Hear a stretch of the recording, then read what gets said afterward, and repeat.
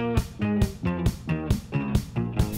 back to SourceFed. I'm Lee Newton. Hi there, I'm Elliott Morgan. Pop quiz, hotshot. You live in Olathe, Kansas. Possibly Olathe, Kansas. Either way, gross. Your home is on fire. No, no. Good riddance, home. You wake up mid-fire and thank God get outside before you're engulfed in flames until you realize that you left something precious inside. Oh no. Oh my god. If it was a dog, I'm gonna be devastated. I mean, first, this poor guy lives in Kansas, is bad enough. Then the fire, tell me he got his dog out okay. It wasn't a dog, actually. It's not a dog. It's it's an Xbox. Okay, come again. The unidentified male rushed back into his home to get his Xbox. Okay, um, uh, uh, what? Yeah, apparently his house was in flames. The one thing that he couldn't part with was his Xbox. You know, hey man, I get it. If my house was on fire, I'd be like, wait, I got a house? Where'd I get this beautiful house? Is not that my beautiful wife. How did I get here? Yeah, cool. I'd save my dog, my wife, and if I had time, not my Xbox.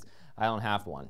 You gotta be some kind of addicted to something in order to go into a burning building to retrieve it. Well, the good news is he only suffered minor smoke inhalation and slight stupidity. All right, guys, so if your house was burning down and you were running out and there was one thing in it that you were willing to go in and save, what would that thing be? Let us know in the comments section down below. And of course, click that like and subscribe button. Click the sanitation. Head on over to sourcefed.com. I'm Lee Newton. I'm Elliott Morgan. hey, El, um, your house is on fire, Okay. uh, but you've saved Tiffany and Gilligan already. Just happy I have a house. Yeah, I know. Your ties. You left your ties inside. I gotta go. Yeah. Gotta go back in that house. I mean, how excited are you that you have a house, though, right? I mean, is it? Tell me That's more a big deal. That's a big deal. Well, it's a two-story. Is it in Burbank? Uh, yeah, Oh, great. yeah, Burbank, California. But like, a good part of. Burbank? Great part of Burbank. Oh. Yeah, yeah, yeah. Yeah, burn it Yeah, down. yeah. There's a gas station down the street that you buy a six-pack of beer at most nights. Like an IPA? Yeah, That's great. I know.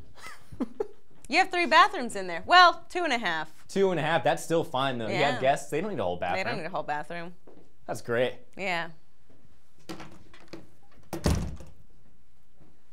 I got a jacuzzi of some kind? No. That's the only downfall, bud. I'm sorry. Burn it